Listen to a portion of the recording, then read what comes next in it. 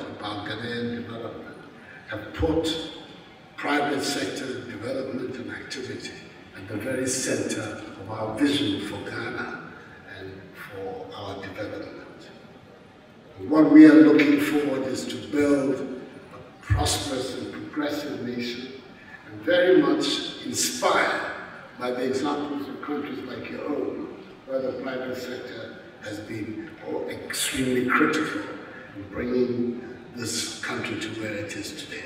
So we're determined to work hand in hand with the private sector. And that is why I've come here. Our country is a haven of peace and security in West Africa.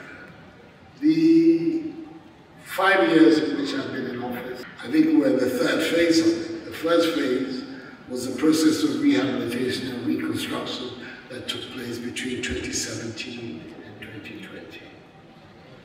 And in that period, we inherited an economy that had been growing at 3.4%. And by virtue of the work that was done and the clarity of the policies that were put in place, we were able to increase the rate of growth of our economy to an average of 7% in the years 2017, 2018, 2019. But then, like everybody else, came the pandemic and the virus uh, of COVID-19. That therefore took us to the second phase, where our economies suffered all the disruptions that the economies of the world were subject to. And as a result of it, of course, was a significant decline. Industrial output, agricultural output, the rate of growth of the economy. Well, fortunately for us, I think it's by virtue of the fundamentals that have been built in the first phase, we did not go into recession in Ghana. We had a positive rate of growth in 2020 when most of the world went into recession. Even though it was a modest 2.9%, we still recorded a positive rate of growth. So that was the second phase. The second phase being the disruptive impact of the pandemic on our lives and on our economy. As a result, two fundamental decisions were taken. One, the need to expand dramatically our health infrastructure system. Because we discovered, much to my, my, my deep disturbance and fear, in the course of the pandemic, that our country was not well served by a broad-based infrastructure, health infrastructure system. As many as we were, we have about 260 districts in Ghana, and it was 100, over 100 districts did not have a district hospital. So we formed the policy of Agenda 111, which is to build in this period 101 district hospitals to fill the gap so that every district in Ghana would have access to at least the basic, the basic infrastructure wherewithal of health district hospitals. The second major decision that was taken by us was in response of what has come to be known as vaccine nationalism. Many of, the countries in Africa, and Ghana was the exception, suffered from inability to access the vaccines that came to be developed as a response to the pandemic. We find ourselves, because we were not ill-equipped to produce vaccines, having to go cap in hand around the world asking for countries that blessed with the vaccine to give us some. It's a situation we don't want to be in again in the future. We've made arrangements with BioNTech of Germany to establish vaccine development facilities in Ghana, and we're hoping that by the last quarter of this year, we'll be up and running. But that's the second phase of what took place. We're now in the third phase, launched an economic recovery program, what we call the 100 billion Ghana Obaatan Pa Cares program, which has several focuses as the uh, objects of the economic recovery. Supporting commercial farming, and as much as possible trying to attract young people into the commercial space. Building up our country's light manufacturing sector. Developing engineering, machine tools, and ICT digital economy industries. Fast-tracking our digitalization program. And then developing our housing and construction industry. Establishing our country as a regional hub and optimizing the implementation of our government flagship programs. Then, critically, creating jobs for young people and also for those who are disadvantaged.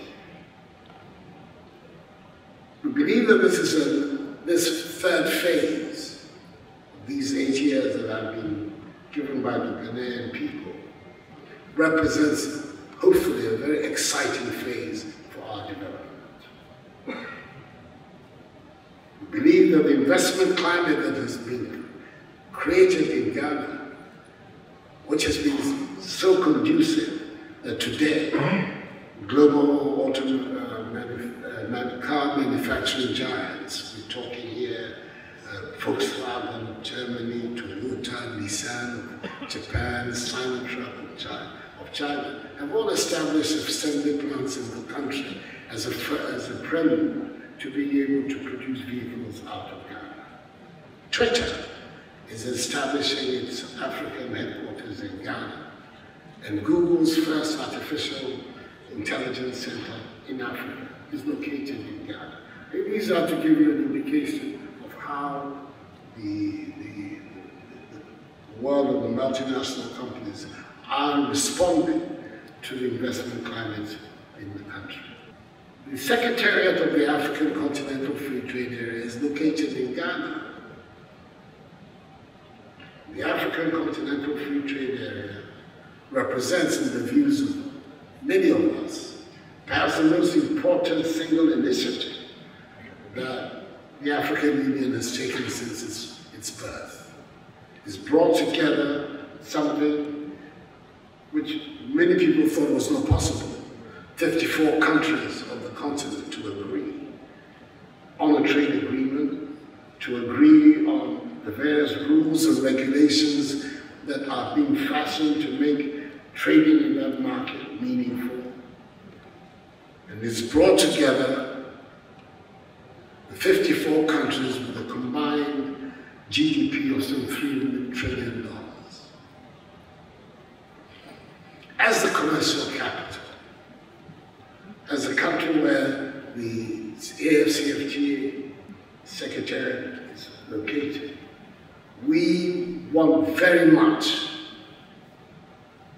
to leverage these opportunities, both as a gateway, not just to our country, but of course also into the continent, the region and the continent, and also to be a service and manufacturing and financial hub on the continent.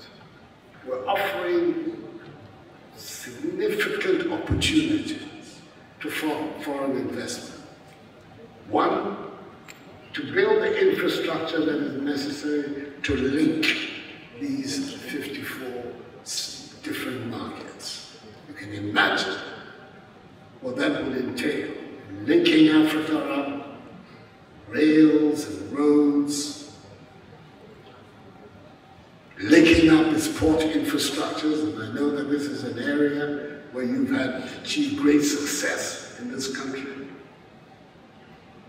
Also, providing the base for production within the African economies. Then finally, of course, as a market for the exports of foreign products and trade. We believe that these, with Ghana at the center, provide a great opportunity for people like you. We're very encouraged by the developments that have taken place between the, Emirat, the, the Emirates and Ghana. Already, over nearly $3 billion worth of investments have come from the Emirates into Ghana. The trade figures between us impressive and they're growing. And we believe that the opportunities are there which can enable us to expand systematically both the trade between our countries as well as the investments that there are there. There are three significant programs of my government that I'd like to bring to your attention.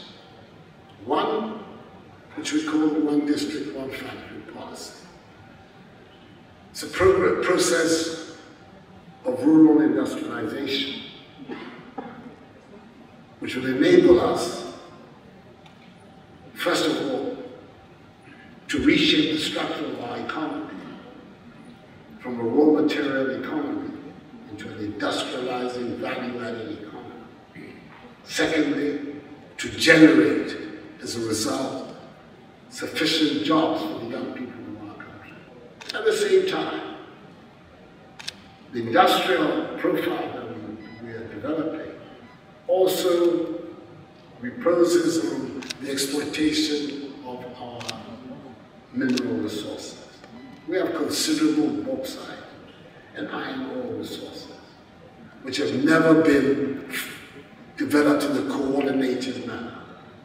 So today, we've established institutions in the country that are responsible for this coordinated development of our bauxite and iron ore deposits. The second important flagship program that I want to bring to your attention is the Digital Ghana Agenda we anticipate that the benefits of the fourth industrial revolution can assist us immeasurably, accelerating the growth of our economy, also uh, uh, assisting us to bring even greater transparency and accountability to our public activities.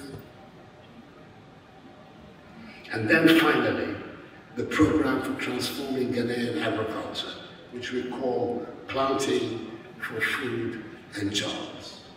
As things stand today, a country that was a net importer of foodstuffs is today a net exporter of foodstuffs as a result of the success of the program. The country is offering several sets of investment incentives.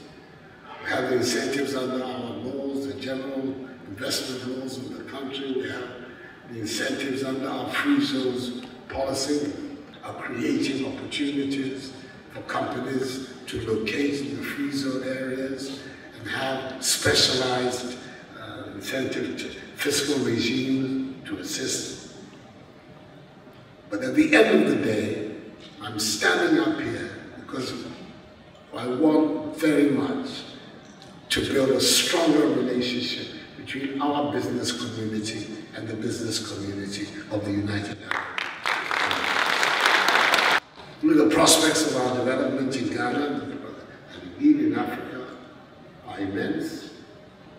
And we believe that a strong relationship between our two business communities will be a very, very solid, satisfactory, and mutually beneficial path towards exploiting these opportunities. The has always enjoyed warm and friendly relations with the West Africa partner. I welcome events such as these that contribute to boosting economic ties between the two nations. The value of non-oil foreign trade between the UAE and Ghana amounted to $2.7 billion in 2021, reflecting a 25% growth in comparison to 2020, 2020 and 56% in comparison to 2019 numbers. Moreover, Ghana is among the most important African markets for the UAE's non-oil trade. This is reflected by the fact that the UAE ranks seventh globally and the first in the Arab world among Ghana's trading partners. The UAE accounts for more than 4% of Ghana's foreign trade with the world and more than 75% of its total trade with the Arab world. In addition, the UAE is one of the six most important export destinations for Ghana, and the first in the Arab world. The UAE accounts for 5% of Ghana's total export to the world. In terms of imports, the UAE is the ninth most important source of market for Ghana's imports and contributes 33% of its total import from the, around the world. In terms of the investment, the value of Ghanaian direct investments in the UAE exceeds 5.3 billion, 5.3 million dollars by the end of 2019. And the value of the UAE's direct investments in Ghana totals nearly 300 million dollars, placing the UAE as the ninth most important FDI source globally and the first in the Arab world. We can certainly imagine an even more prosperous partnership between the UAE and Ghana we see great potential for diversification of our investment, especially in the agricultural sector, which employs more than 30% of Ghana's workforce. It's known for crops such as cocoa, coffee rubber, legumes, uh, corn, cotton, potatoes, and many others. Meanwhile, its mining sector is known for the production of gold, aluminium and, and manganese. Regarding its investment environment, Ghana was ranked as the best place for doing business in, in the West Africa, according to the 2019 Ease of Doing Business report. The country also enjoys political stability, as reflected by its first ranking on the 2020 Global Peace Index in West Africa. These factors, coupled with a wide array of development taking place in the UAE economy, makes, it, makes this the right time to facilitate closer collaboration between the two countries.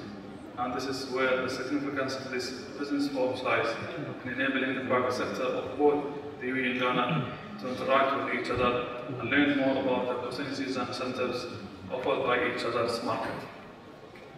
Excellencies, ladies and gentlemen, I'm taking this opportunity to shed more light on the development that's currently being witnessed by the UAE economy, following the introduction of a series of legislations and regulatory amendments that enhance the openness of our economy the UAE announced the project of 50th initiative in conjunction of our Golden Jubilee last year. It marks the country's milestone 50th founding anniversary with the 50 grand projects aimed at further diversification and strengthening our economy. All of these projects are designed to establish the as a truly global destination and tested for bold ideas and innovation. In addition to granting of the 100% foreign ownership projects on mainland, the recent restructuring of the country's Residency system now supports our national talent attraction strategy and reinforces the UAE as an ideal destination for work, investment, entrepreneurship, education, and life. To give you an example, the new Green Visa category enables highly skilled individuals, investors, and entrepreneurs, and top students, as well as graduates, to sponsor themselves. Meanwhile, the new Freelancers Visa is the first federal visa scheme of its kind for self-employed workers. Even before these policies came into effect, the UAE was known as a thriving global business and investment destination.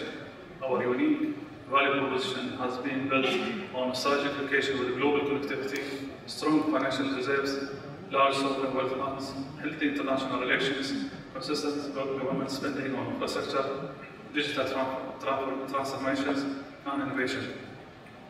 Progressive economic diversification policy, multi-free uh, zones, highly developed infrastructure and open, tolerant society. As a result, several global indicators have recognized the UAE as best business ecosystem for being agility, availability of investment capital for its conducive climate for establishing SMEs, surpassing several, several leading global economies. The country ranked first globally in the Global Entrepreneurship Index 2022, climbing three spots from its fourth global ranking in the last years support. This rate change is creating unprecedented opportunities in our market, and it's a very exciting time to be here in the UAE, especially if you are an entrepreneur or an investor looking for expanding your global footprint. Therefore, I invite Ghanaians, businesses and investors to actively engage with our Emirati counterparts to play influential roles in elevating the UAE-Ghana ties to match our economic development aspirations to the next stage. So, uh, Your Excellency, Greece, welcome to UAE and we're looking forward for fruitful discussion and partnership. Economic opportunity is a necessary condition, but not a sufficient condition to attract investments. You need to go beyond economic opportunity. And I think what Ghana offers is that beyond the opportunities that Ghana offers, we also have a stable democracy, which is important for investors. We also have a peaceful and secure environment, which is also very important for investment. Investors want to make money, but they want to stay alive and enjoy the fruits of their labor. But it also goes beyond that. We also have very skilled, trainable labor force.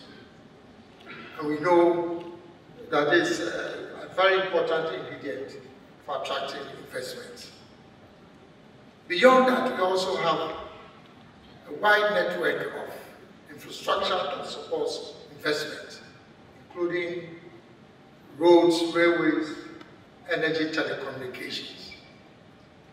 And above all, we also have a full complement of other enablers that would help an investment deal to be competitive. I'm sure other African countries will talk about some of these same benefits. But I can guarantee you that there's only one country in Africa that offers all these as a package. You buy one, you get five free. And that is why we are different from the other countries. I'd like to re-echo only one other point. The biggest project in Africa is the establishment of the African Continental Trade Area. And as we've been told, Ghana has the privilege of being the host of the AFCFTA.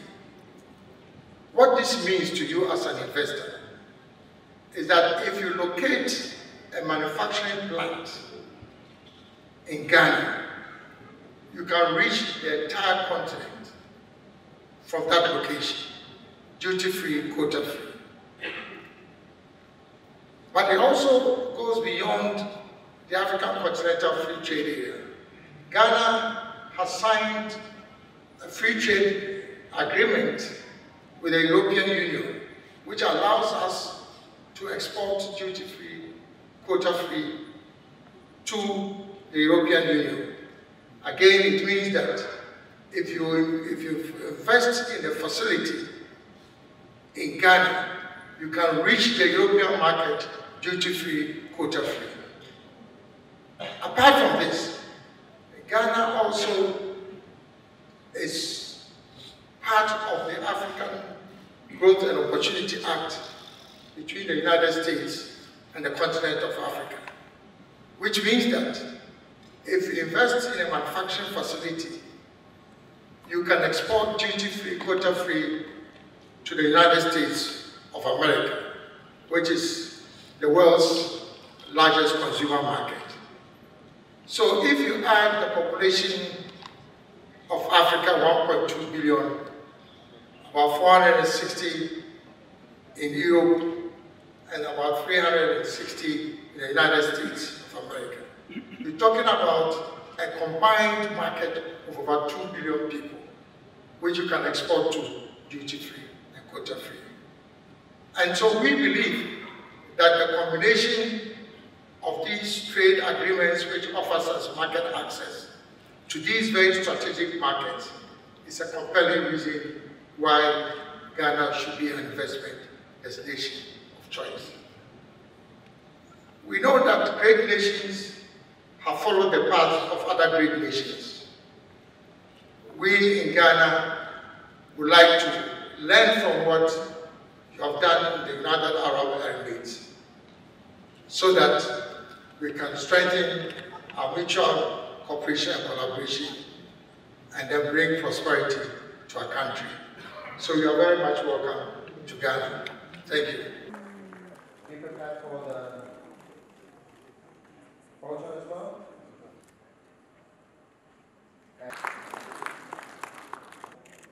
And the Ghana Investment Promotion Session. Ghana Investment Promotion Center and. If you just tuned in, you're watching International Trade Focus coming to you from the grounds of the Dubai Expo 2020. We're bringing you all that transpired in Ghana's participation at the Dubai Expo 2020. Don't go away, there's more after this break. A warm welcome back. Now, Ghana climaxed its participation in the Dubai Expo 2020 by organizing a series of business forums and investment driven activities. More on this coming up shortly. Don't go away.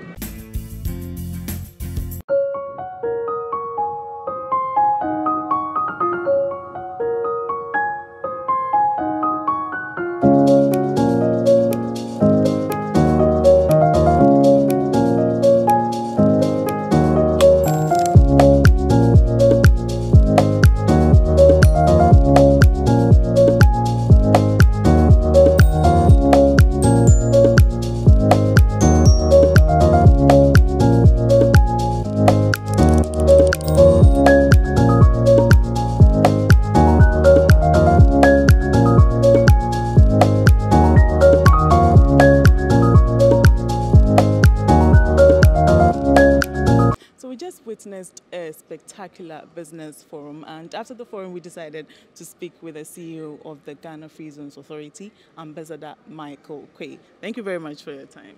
Thank you very much, madam.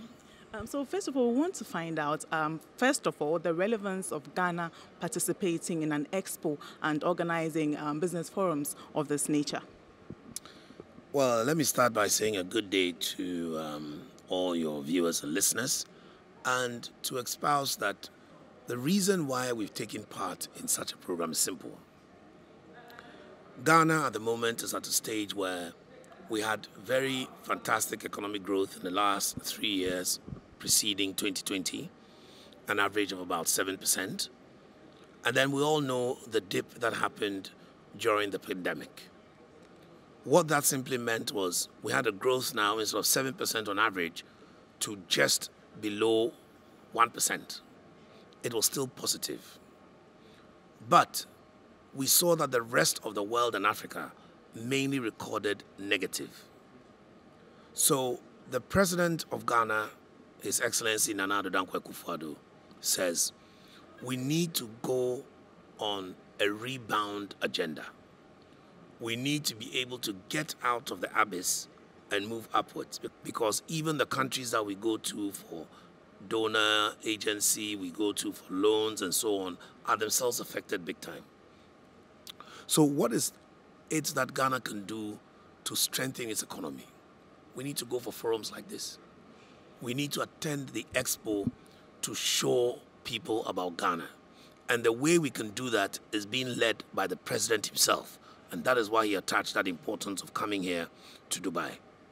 So, among other things, first of all, as you saw, um, Ghana's flag was shown on the Burj Khalifa. This is not an ordinary feat.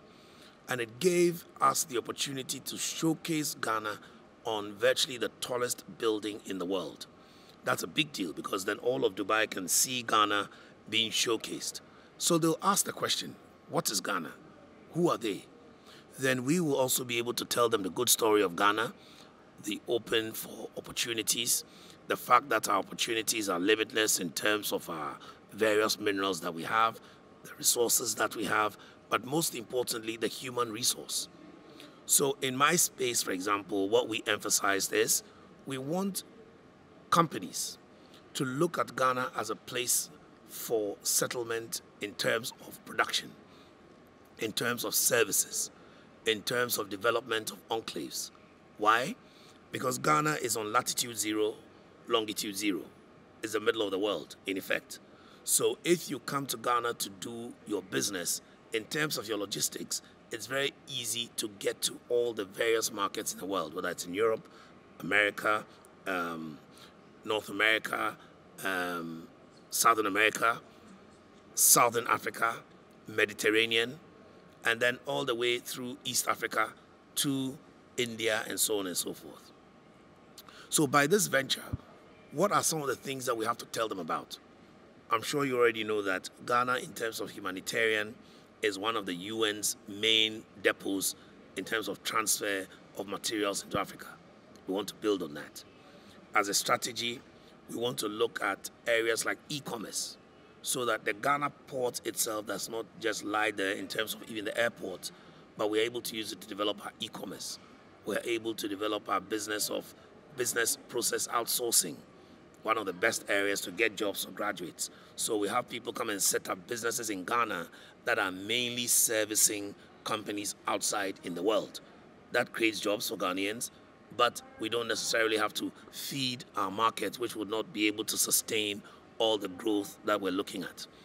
But one of the most interesting things that we came here to talk to the UAE about is development of perishables market, i.e., if Ghana is just seven hours from Dubai, six hours from Europe, eight hours from America, and so on and so forth, what is so strategical about our location that makes us attractive?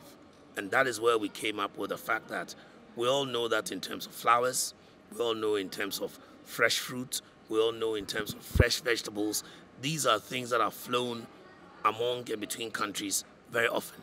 So Ghana is the location for you to conduct that business. And we are very serious about making Ghana one of the headquarters, or I should say the hubs, for the perishable industry, which fetch a lot of money all over the world. So these and many other things are some of the reasons why we came to the United Arab Emirates to strategically partner with them. Right. Ambassador, so in the spirit of driving investors into the country, can we talk about the export processing zones? Yes, I mean, export processing zones at the moment, we have changed that concept more into special economic zones. And it's one of the things that we're also partnering Dubai to do in this context. Look, if you look at us in terms of export, the value of trade is $900 million with the UAE at the moment. In terms of import, it's about $100 million. If you look at again in terms of export and import, we have about third and ninth in terms of ranking respectively. So if this is the case, what can we do to improve it and make it better? One of the ways is by industry.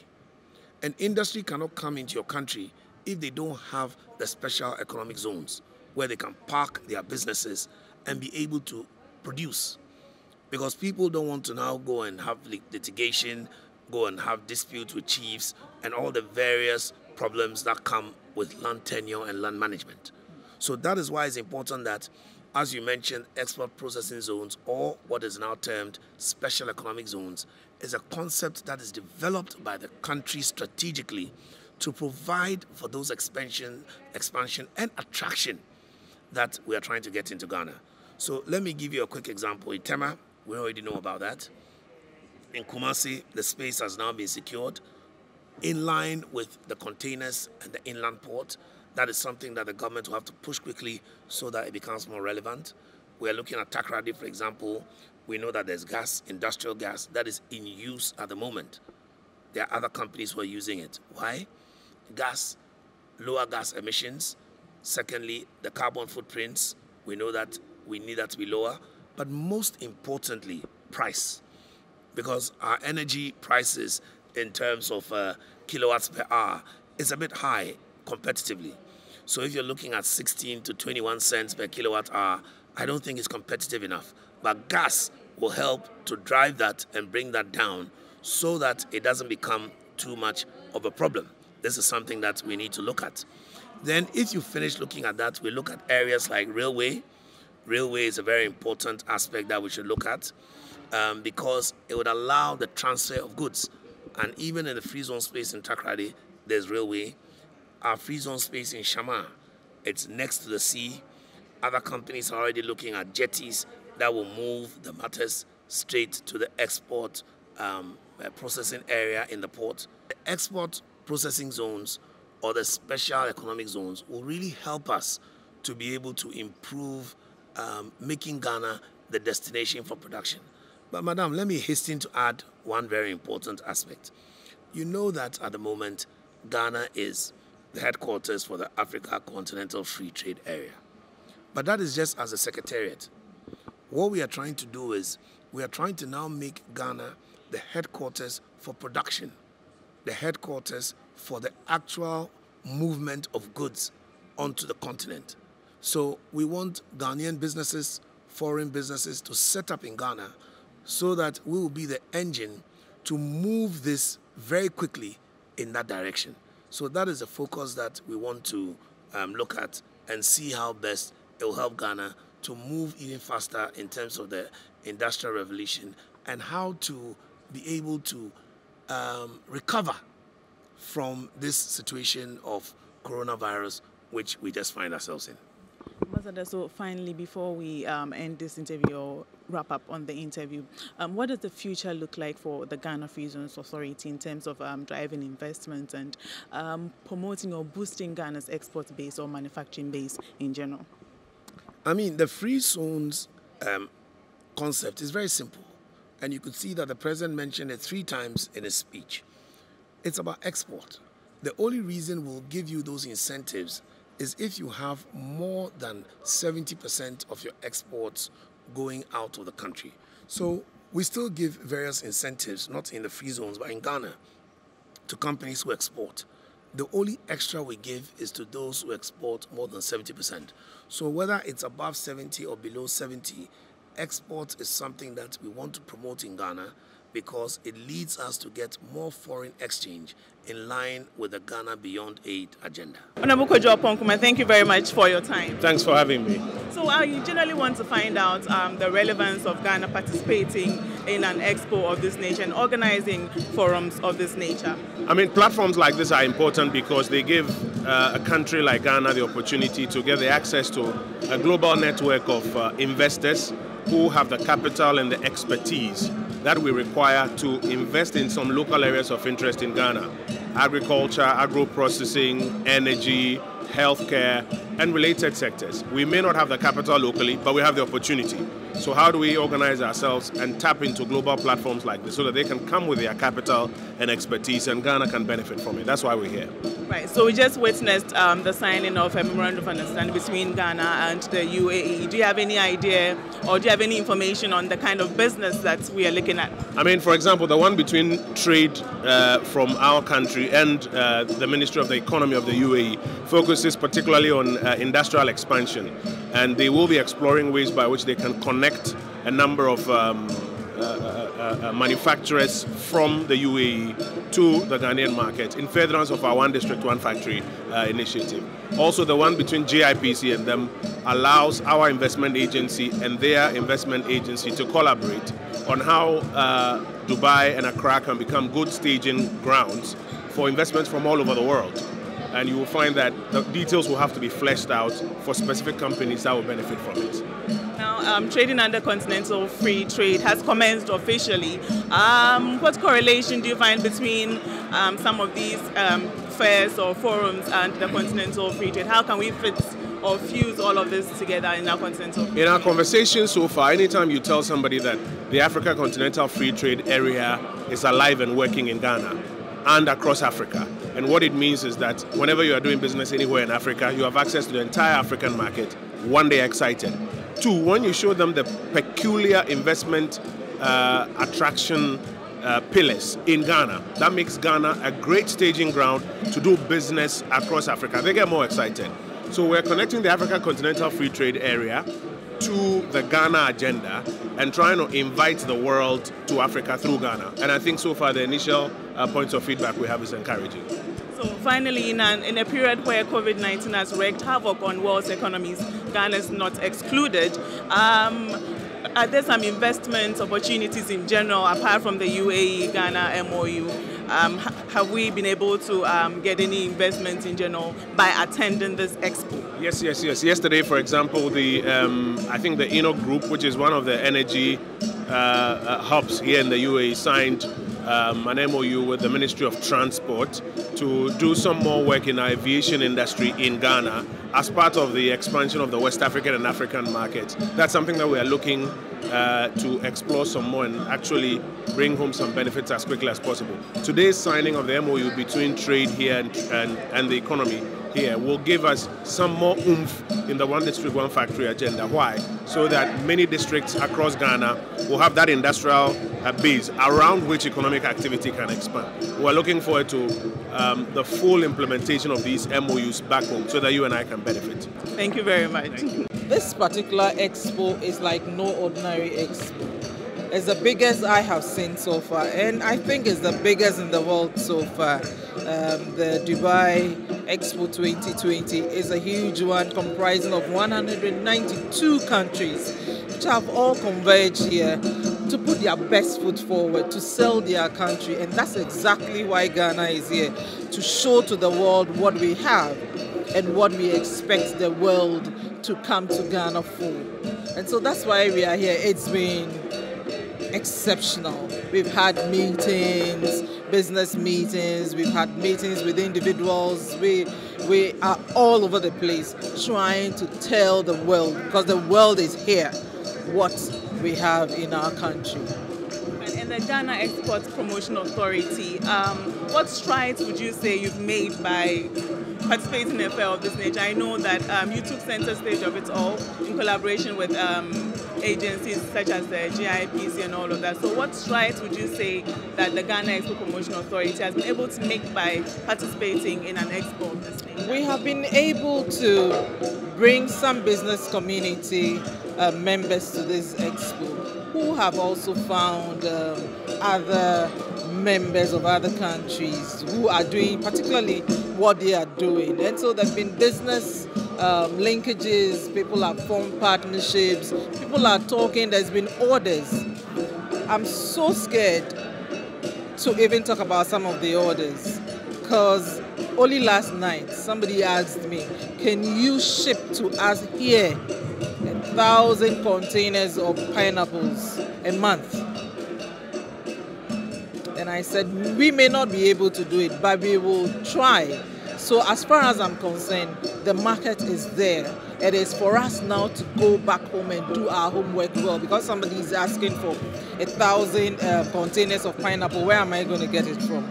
It's difficult. But then we can start from somewhere. So I didn't let that opportunity go. I just said we can't do a thousand, but we can do some.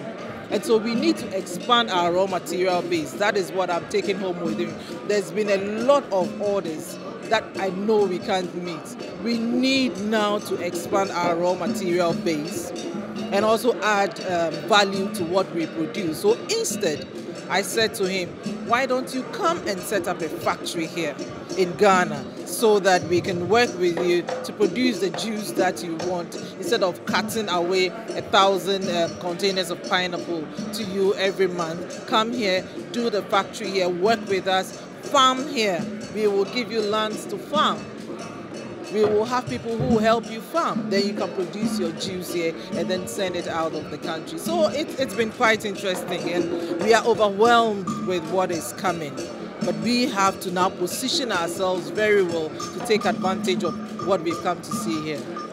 And it's always exciting when I hear information like this. And from expos or fairs that we participate in, you realize that um, the goodwill is there, the demand is out there. But as you said, the capacity is a story for another day. So, as um, the CEO of the Ghana Expo Promotion Authority, you said when we go back, we need to do our homework well. So, how can we strengthen our export base in Ghana? We have started as an organization, as an agency, we have already started doing some of these things. You know, we've been supporting the pineapple growers with even pineapple suckers. We've, we've helped vegetable growers. We've helped the, the coconut growers. I mean, we are doing a lot of interventions by way of crafts, fine arts, you name it, every sphere we are intervening. And so, I mean, we are on the right track. But it's just that when you come here and you get overwhelmed with all of these orders, then you don't know what to do. You think what you are doing is too small and you need to work even harder. So for me, it's like um, you've been fueled to go back and work even harder. What you're doing is small. Sometimes when you sit at home, you think that, oh, I'm doing so well. I've supplied this, I've done this intervention, I've put in so much. It is not so much until you meet the world. And that is what is happening here. we are not going back home with empty hands. So inshallah, I know that we are somewhere, we are going somewhere. Thank you very much. Now, the National Petroleum Authority is the body that regulates the downstream petroleum industry. And by the downstream petroleum industry, we mean anything from the refinery to the storage to the distribution of petroleum products. Now, to that extent, Ghana is seeking to establish a petroleum hub development corporation. In other words, we are seeking to establish a petroleum hub in the western part of Ghana, you know, where um, we, we, we, our petroleum resources are generated. Um, and by a petroleum hub development corporation, we intend to create a market center, you know, within the sub-region for petroleum products. As you know, right now, all petroleum products are sourced from either Rotterdam or America or the Gulf or Singapore. Now, to tell you the truth, Singapore produces no oil, yet it has a petroleum hub and has become an important um, hub for the trading of petroleum products. We, as people who produce um, petroleum products, um, it will serve us well if we were to establish a hub in West Africa because it will make petroleum products accessible and cheaper, you know, for the West African market. And like the president said at this forum, because we have also become the headquarters for the African Continental Free Trade Area, Ghana basically, um, in, in theory and perhaps even in practice going forward, becomes, if you want, the commercial center for, for Africa. So the Petroleum Hub Development Corporation, it's a big project. It's going to cost us something in the region of 60 billion dollars to establish. And this is made up of refineries, it's going to be made up of all these chains of industries that rely, that rely on petroleum products and all the byproducts of, of petroleum to develop. Now, when that is done, it is the National Petroleum Authority which is responsible for giving licenses, you know, to the operators in this hub. We are also the ones responsible for regulating their activities, setting the rules and regulations, and etc. etc and making sure that things work well within the petroleum hub. So to that extent, we are here, um, or if you want to use the political term, to campaign, you know, for people to come um, to establish industries and petrochemical industries within the petroleum hub of Ghana. And like the free zones people have said, there are incentives that we are dangling before these potential investors to encourage them to come. So if you ask me, that's why we are here. Right, so concerning um, the petroleum hub, what's the, the level of progress so far? Well, so far, government has been able to secure the land, huge expanse of land. Um, we have um, begun to lay out the infrastructure. Government will be responsible for laying out the infrastructure, the water, the roads, and all of the things, so that when people come, it's much easier. They don't have to go through the hustle of this. All of that has been established, and so we are moving to the next stage of actually attracting the investment. Indeed, a few people have begun to sign up. I know that um, two companies have already signed up to establish the refineries that we are looking for in this. So a lot of progress is being made towards towards that matter. So in an era where the COVID-19 pandemic has wreaked havoc on the economies, Not excluded. Um, what what benefits will a petroleum this have for Ghana's economy? Well, of course, it will help to revive the economy. You are talking about an area that would employ thousands of people.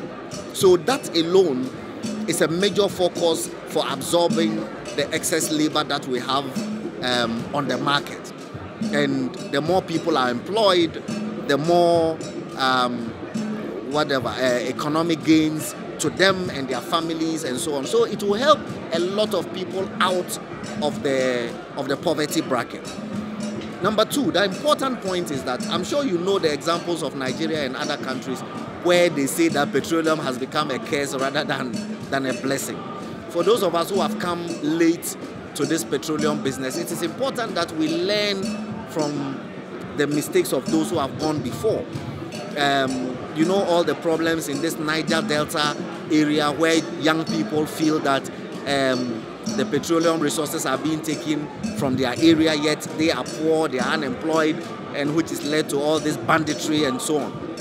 And so the Petroleum Hub Development Corporation is also supposed to resolve that challenge, you know, and, and to prevent our youth from taking up arms and claiming that resources are being taken from their area and so on. So it has all these, if you want, a chain effect you know, not just of re reducing poverty, but improving the infrastructure of the Western region, of reducing unemployment, and ultimately for securing the peace of our country. So um, the relevance of the petroleum sector participating in this aside, let's look at the general relevance of a country like Ghana, an African country for that matter like Ghana, participating in an expo of this kind and organizing uh, forums of this kind to attract investors. Well, that one. Um, it's non-negotiable. That we should be here is non-negotiable. Um, we have always prided ourselves as being the black star of Africa, the gateway to Africa, the first country south of the Sahara to attain independence. We have all these accolades. But quite frankly, these accolades wouldn't make a lot of sense if they are not grounded in the economic liberation um, of the people. And so we are here to leverage on the advantage that we have. You heard people keep referring to us as the center of the world. We have a lot of all of these, um, if you want, um, natural and artificial endowments um, that have been bequeathed or bestowed to us either by nature or also by history.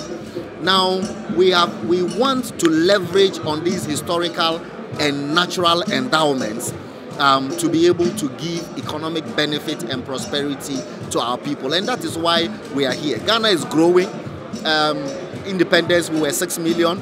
Now we are 30 million and plus. So as we are growing, you need also to be forward thinking um, in how you bring prosperity to the people. Otherwise, um, instead of uh, the population growth becoming a blessing, it could also be, be a curse. Um, it's a double-edged sword, and we want to be able to prevent it from becoming a curse by attracting the needed investment. Already the president has said we are succeeding, quite frankly, in that respect. All these giant automobile companies of the world are now establishing in Ghana and producing cars out of Ghana. Um, now people are able to buy brand new car out of the factory um, in Ghana um, for less than a million cedis. Are, are you following me? So already we are beginning to see the benefits of Ghana opening itself up to the world to come and do business. So this is just, if you want, um, an added uh, step that we are taking in, in the journey that we are already on. I think the Ghana Standards Authority is very happy to be at Expo 2020 in Dubai. We are even happier that we are part of the presidential delegation. His Excellency made a passionate speech, and I think his concluding statement after the press interaction was, was the best. He said, Come and invest in Ghana because you make a lot of money, and Ghana will make a lot of money. He also said that during the, during the speech. For the GSA, there are so many good sides. One, the automotive sector was heavily promoted by His Excellency. We are hoping to have investment so that we can do more homologation, make more business for GSA. But we also came particularly for a new business line which is opening up the UAE authorities want to work with the Standards Authority and the Food and Drugs Authority to provide halal certification for food. Now, if Ghanaian companies are going to be producing halal certified food for exports, not just to UAE, but to the Muslim world, just look at the numbers and the potential. There is a big need for food from our part of the world. The, the, the market differentiator is going to be whether they are halal or kosher based on the market you are sending them to. And we are going to invest heavily in obtaining halal certification for the GSE working in partnership with the Food and Drugs Authority since we will need Food and Drugs Authority's involvement as well for the process. Once we have that, Ghanaian producers of all types of food, spices, meats, poultry, just name it, will have the halal mark in collaboration with the UAE authorities can export to Dubai, to Indonesia, Nigeria, Saudi, and indeed to the whole world. That for us is a big thing. I think we are looking at the construction sector. That is also going to be business in testing buildings. So all in all, it's been a wonderful expo. We see potential to open up Ghana for producers and manufacturers. We believe that with the AFCFTA starting, with GSA offering halal certification, with all the work we are doing in building, construction, and engineering, the future really is indeed bright, and we look forward to many, many more such collaborations. And it's a wrap for today's edition of International Trade Focus. Join us same time next week for some more information on international trade related activities in Ghana and beyond. International Trade Focus is brought to you by GOIL, Good Energy, ADB, Truly, Agric and more, Public Elegance and Peduase Valley Resorts. So from the Dubai Expo 2020 grounds, we say bye for now. Join us same time next week.